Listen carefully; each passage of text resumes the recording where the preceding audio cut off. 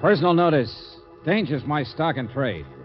If the job's too tough for you to handle, you got a job for me, George Valentine. Write full details.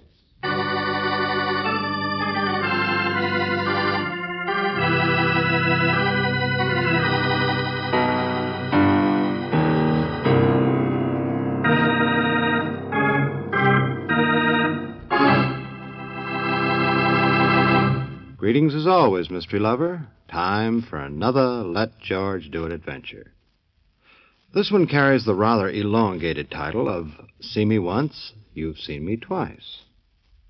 Now, I don't want the kiddies to lose faith in their heroes, but it's all about a cowboy with a broken heart.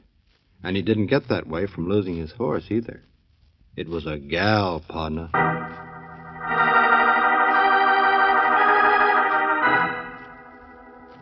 Dear Mr. Valentine, my name is Wallace, and I have just met a girl named Lucy, Lucy Lamoureux. Isn't that the most musical thing you ever heard? I tell you, I could spend hours just saying it. Lucy Lamoureux. And I, I could spend pages just telling you about Lucy, Mr. Valentine, only I figure there's enough competition as it is. In fact, there's too much. And that's what I want to see you about, because it's mighty perplexing. You see, Lucy told me there wasn't anyone, uh, steady, I mean, and she's not the sort to go telling fibs. Only then, who, Mr. Valentine, is the man who just told me to stay away from Lucy? Or he'd kill me?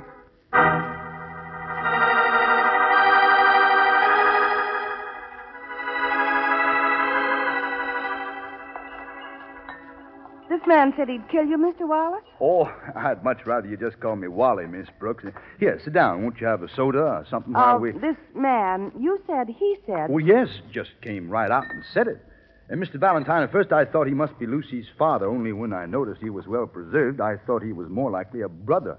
Father, brother, why would Well, you know how men kinfolk can be about a girl like that, living all by herself in a big city. A protective, sort of. Oh, she lives all alone, huh? Oh, she's never actually said, but I guess so. Right across the street, apartment 17A, and that's why I asked you to meet me in this drugstore here. Well, your girl does all right for herself. City Towers over there is one of the fanciest places in town. Any money she's got is from honest hard work. She's a working girl, I tell you, something or other in the theatrical profession. Oh. Oh, but but she's not like what you think of those people. She's clean and straightforward. Nothing flashy about her at all. Not even false eyelashes. Okay, okay. Stop being scared to death. We'll get the wrong idea about Lucy and tell us about this. I, I just don't know her very well yet, and I don't like to pry, but there's this man who follows her all the time. I've seen him. Go on. Well, that, that's about all there is. I asked her about him, but she's never even noticed him, but I have. He sits here pretending he can't make up his mind about the flavor of ice cream. Only the minute Lucy comes out the door of that apartment house, he ducks. And then he follows her. I've seen it, I tell you. Private detective, George? Hmm, maybe. Yeah, yeah, that's what I thought. One of those eye fellas, maybe. So, yesterday afternoon, when I seen him worrying over a banana split, I took the bit in my teeth. What do you mean? I mean, I accosted him. I said, See here, you buster, what kind of a caper are you trying to. Well, Well, that's all the further I said. He struck me. Oh, he was the sensitive type. Holy smoke, it was awful. He just knocked me flat. And then he said I could stay away from her or he'd kill me. and then he walked out with, without even paying for his food. Well, there, there's nothing funny about it. He, he was a big, heavy set man in an overcoat and a green hat. Now, that's all I can tell you, but he had fists like hams. Here, just look, look. See, on my cheek where he. all see right, right there? all right, yeah, sure. Huh? We know, we know. It's not funny. I- I'm sorry. Oh, your jaw is swollen, isn't it? He was wearing a ring. He hit me so hard he knocked part of it loose, and, and he left so fast he didn't even notice the part. Here, here. Now, see? A diamond. He was wearing a diamond ring. Hmm. Sensitive type with class. Look, I know I'm not too smart about these things, but Lucy's a nice girl, and she doesn't know what it's all about either. And I think somebody ought to find out before there's any real trouble. Yeah, somebody like me. Okay, Brooksy, you stick around with Wally here. Oh. See if you can spot the menace. George. I'm going to visit the main tent. I want to see the big attraction. Name of Lucy.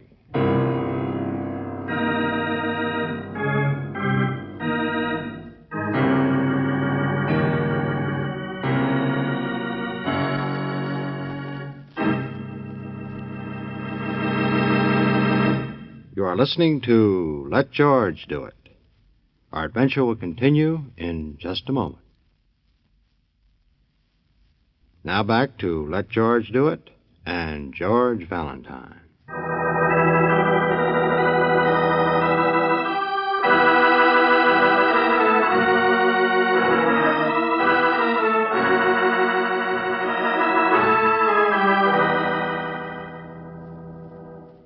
What are you leaning on the bell for? You tired or something? Uh, you're Lucy Lamoureux? Is it an item to apologize for? Come in.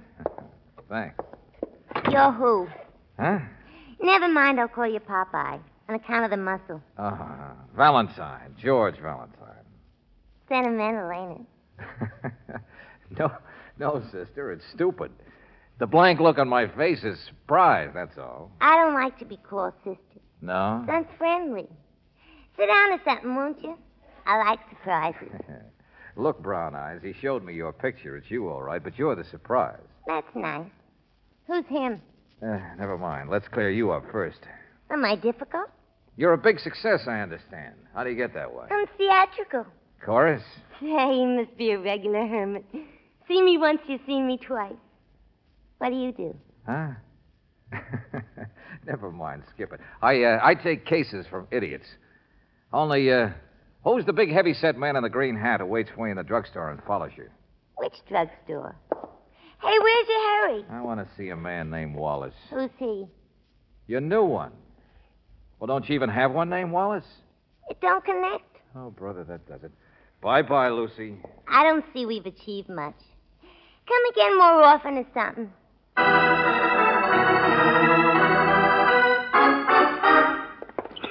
Where do you think you're going? Well, into the elevator, friend. Keep your powder No, dry. you're not. Oh, what's the matter? I mess up your overcoat? I want to talk. All right, then, don't wave your hands. One of the stones is going out of your ring. It doesn't look pretty. Shut up. All right, all right, go on, talk. What have you been doing with her? What are you up to? What's the big hey, idea of hey, taking... slow down, Buster. Get You- your hands off of me, and you stay away from her. If you're the one that's been taking her out, the one she's been meeting, I'll kill you. You hear me? I'll Cut kill you. out, cut it out. Watch And I'll show you to stay away from me. Watch Watch out. No, you don't. Yes. I'm no drugstore push. Oh, brother, what kind of a three-ring circus is this? Sleep tight, Buster. I've got a return engagement with your girl.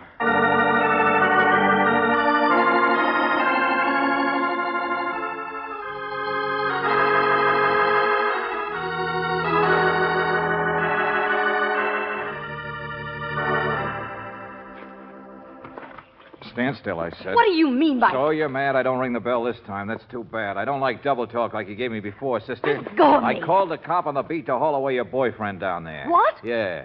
Green Hat's a little too jealous for the public good. Also, he needs some smelling salts.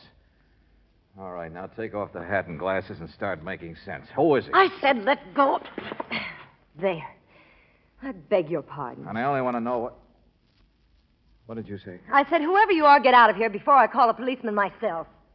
Hey, look, Lucy, say some more. What kind of an act? Get out you- of my apartment this instant. Now, look, look, I've got eyes. I can't be crazy. You're the same girl that I just saw. I'm talked. Lucy Lamoureux, the dancer, and I've never seen you before, and if you don't. Oh. See me once, you've seen me twice? Hey, give me those glasses. Blue eyes. Blue, not brown. Hey, what in the name Her of... name is Audrey, and I saw her running down the back way when I came up just now from lunch. Two of you. She's your twin sister. Yeah, she's got to be. Everything else is just... Audrey Murphy, and she's my new partner, thank you. Her hair is dyed, though. You might have noticed that if you hadn't been so busy confusing the kind of girl she is with the kind of girl I am. Oh, listen, I, uh, I'm sorry. Sure, two coats there, two hats. Well, even your clothes are identical. Well, now look, you can't blame we me. for wear them in the act. I've arranged our first engagement for next week. You've probably never been able to afford the type nightclub that engages the Lamoureux sisters. Shadow dancing. But uh, I suppose you prefer burlesque anyway. Huh? Oh, no, no. I'm, I'm all lost now. Wait, you just said Audrey wasn't your sister. My sister was killed in an automobile accident last year. It took me months and months to find someone who looked enough like me to replace her. Well, Audrey has apparently just had some fun confusing you. Well, it compliments me for making such a good choice. But whatever your little problem is concerning her rugged admirers, I assure you I'm not interested and I'm very busy, so please get out.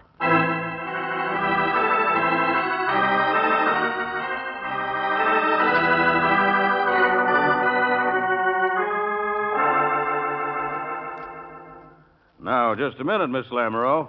That guy in the overcoat, the one Mr. Valentine here slugged, is a pretty important man. His name's Muscat, Lefty Muscat, and he's got a record like. the- Officer, for the last time, it's none of my business. Miss Murphy's personal life is her own, so you can just wait till she gets Hold back. it, hold it, please. I told you what this boy Wallace said Wallace about. is a very nice boy, but a little too nosy, don't you think, Mr. Valentine? He says Lefty Muscat's been following you, not Audrey. Nonsense. Why would he? That's what I said to Wallace, unless this Muscat person is colorblind where eyes are concerned. Anyway, I certainly don't sway the way Audrey does when I walk. Couldn't possibly confuse us. Unless Audrey wanted Lefty to be confused. What's that? Muscat's in the confidence game. Blackmail, shakedown. Really, I'm the one who's confused by this time. Look, your officer friend here says he's known you for years. You and your sister made a pile of dough in the past. Well, Uh, all I'm trying to tell you, Miss Lamoureux, is I've never liked that Audrey since the first time I saw her up here a week ago. And now, when Mr. Valentine gave me Lefty, Lefty Muscat, it gave me something to go on. So I checked the records fast. Muscat's been seen with a dumb blonde several times the last year, and her name's Audrey. She helps in his payoffs. well, I still don't understand how that concerns me. Don't you? She's crooked, too. You've got a lot of dough. She's worked her way in to be your new partner. Oh, no, this is ridiculous. I know she seems pretty dumb, but Yeah, just a... she's dumb like a fox, I tell you. Muscat's used her as a go-between when he couldn't show himself. Look, Lucy, please. Big, successful dancer hires unknown partner. Don't you think you ought to be a little bit interested in her personal life? I'm giving her a good job. What could she want? That's what your Mason Dixon boyfriend wants me to find out, I guess. Why? What's up? What's the reason for all Muscat's jealousy? What kind of danger are you in? Oh, nonsense. I'm not in any. Well, what should I do? All right, help me check back. Where'd you first hear of Audrey? How'd you happen to give her the job of partner? Because she looks so much like me that. Oh, I, I see what you mean. There was an agent, I think, called me just two or three weeks ago. I'd never dealt with him before, but. Here, Franz Kling. He called me and arranged an appointment for let me see that. Franz Kling, theatrical bookings, carnival, nightclub specialty acts. Kling's clusters of talent. He called and she came. But, but Audrey. It just doesn't make sense to me that she could be up to anything besides winking at men. or- Sure, sure. She's got clusters of talent herself. Come on, lady. Let's go see Kling.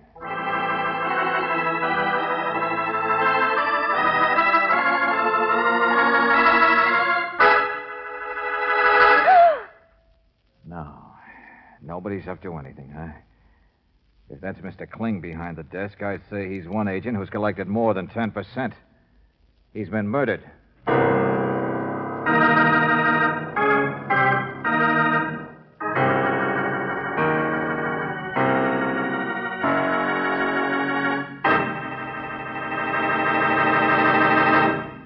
Are listening to Let George Do It. Our adventure will continue in just a moment.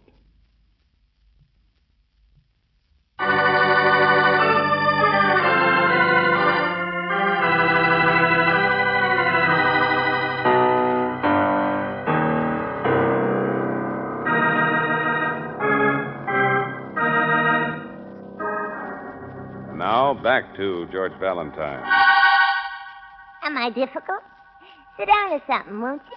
I like surprises. But if your name is George Valentine, you're not so sure you do. For instance, the surprise of meeting the booking agent who got brown eyed Audrey her job as Lucy Lamoureux's partner in a successful shadow dance act. The agent's name is Franz Kling, but he doesn't use it anymore. He's dead. Murdered. Sure he's murdered. You don't shoot yourself with a 38, then swallow the pistol, do you? Who's arguing, Lieutenant Johnson? I am, with myself. Doc says it could have happened several hours ago, sometime this morning. The elevator man says he's got a toothache and didn't notice who's been up and down. Oh, George will be back in a minute.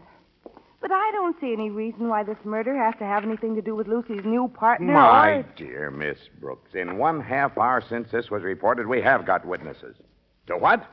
To the fact that Kling was an agent with no license, with no visitors except guys from the finance company, and with no clients. Well, then Except Miss Audrey Murphy.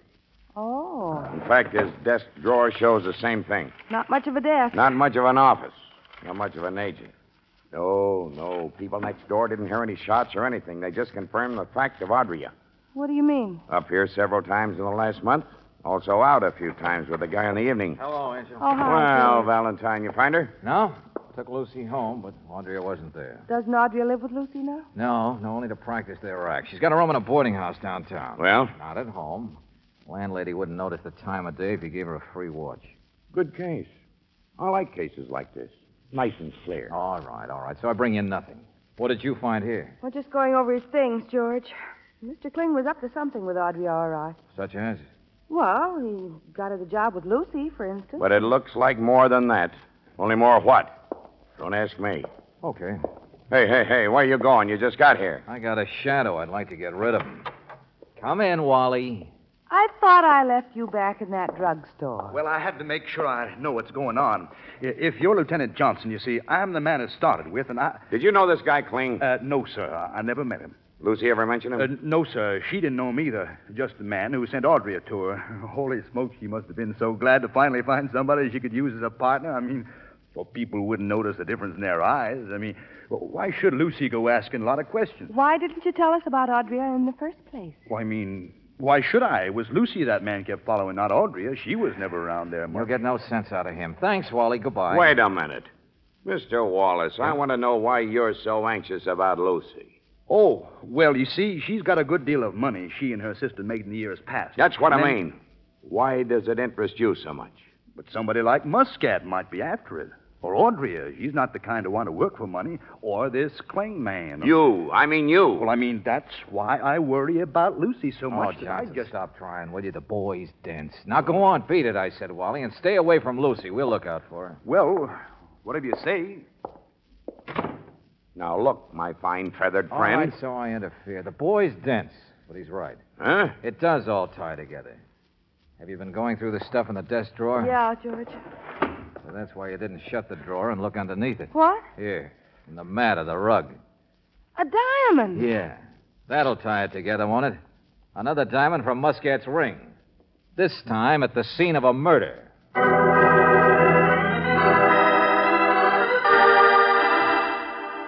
Why, no, sir. We bandaged Mr. Muscat's jaw, and he left the emergency hospital here immediately. I don't know where he went.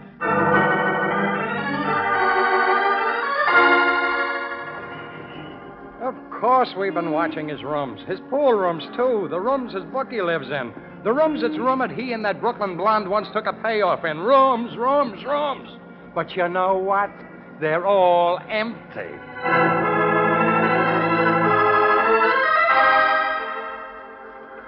Look at that.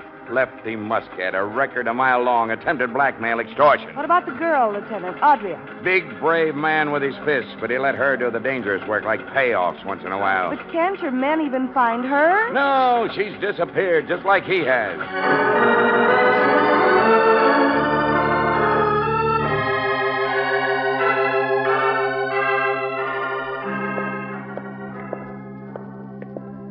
Yeah, you're right, Brooksy. Nothing was gained by Kling's murder that I know of on the swindle end. Mm, They never actually did anything to Lucy, and she's the only one with money. No, and they won't now either. Whatever this was, we stumbled into the middle of it somehow and broke it up.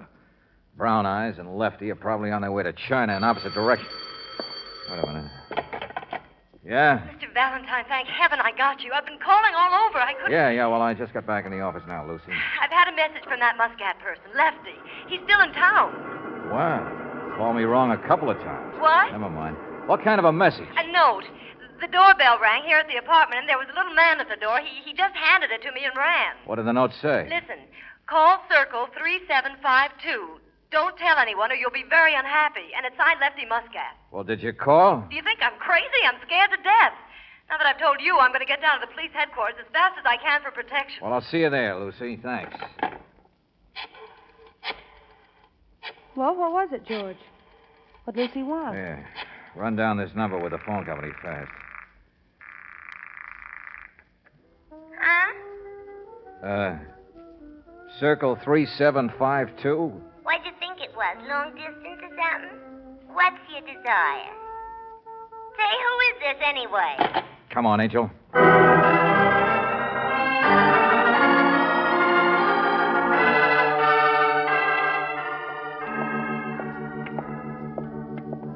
Apartment Hotel.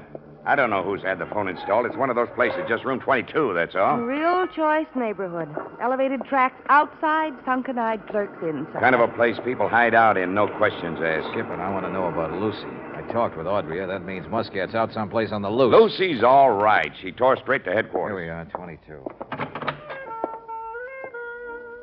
All right, little Audrey. Hey. Hey. This is the same phone, all right, the same number. It's been less than ten minutes since. Lefty Muscat. Yeah. Yeah, that's been only about ten minutes, too. Deader in a mackerel.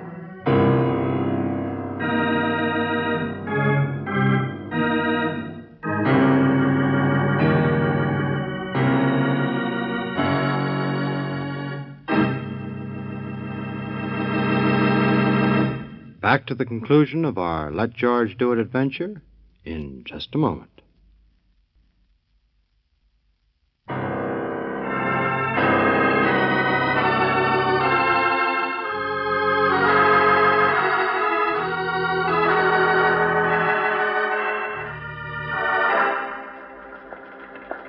But what did Muscat want me to come there for?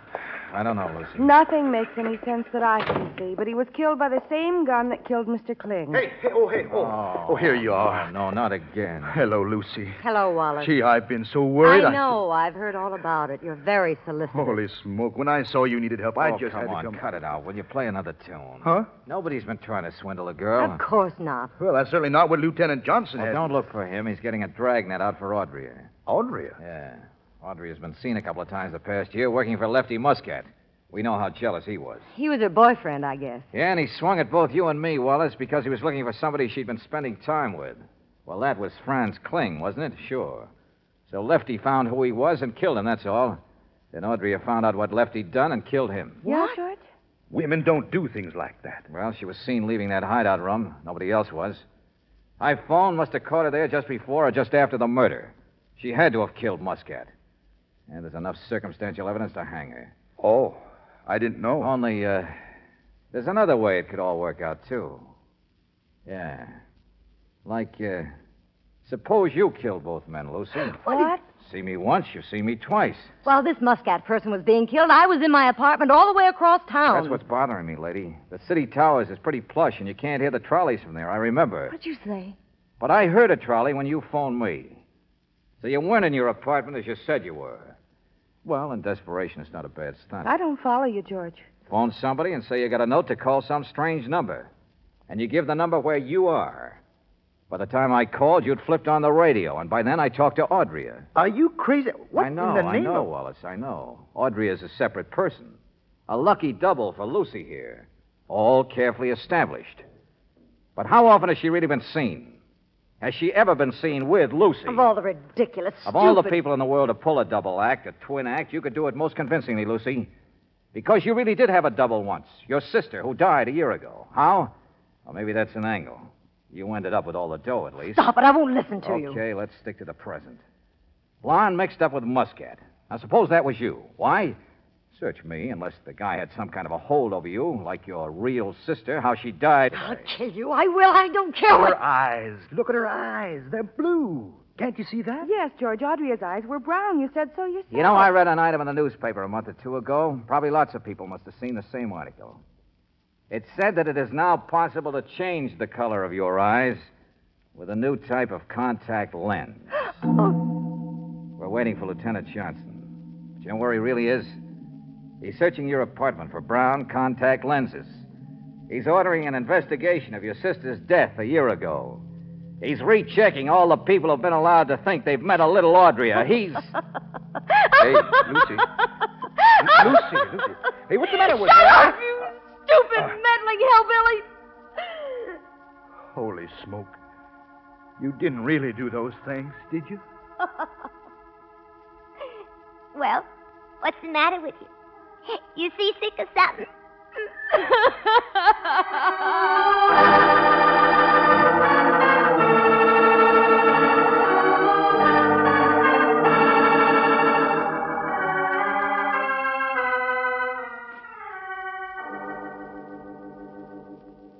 You see me once, you seen me twice. Boy, that's the way it was. I mean, it really was. Yeah, that's right, Wally. There was something phony with her sister's death. Apparently, Muscat knew it and was soft for it, too. So Lucy dreamed up a wild plan to get rid of him by inventing a new partner who could be blamed for his murder. Oh, not so wild, George. She might have got away with it. Holy gee. Who, who'd suspect that of a lady like Lucy? oh, Buster, if I ever met a guy who was stupid when it came to women. Well, I'm impulsive and persistent, that's all. She tried to brush me off, but what I you just... need is a lecture on the facts of life. How to but pick. she didn't break my heart. I already got plans for somebody else. I learned my lesson. You've what? Mm-hmm. You couldn't tell Lady Godiva from little Goldilocks. You couldn't Oh, but this is different. Well, honest, honest it is. You don't have to worry about me. It's, uh, Miss Brooks. even... It's... Oh, no. what am I laughing at?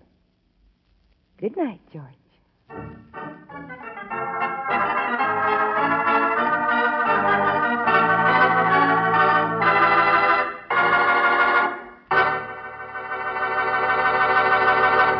You have just heard See Me Once, You've Seen Me Twice, another Let George Do It adventure. Robert Bailey was starred as George Valentine, with Virginia Gregg as Brooksy. David Victor and Jackson Gillis wrote the story, with music by Eddie Dunstedter. Now, this is yours truly inviting you to another visit with Valentine, when you will again hear what happens when you let George do it.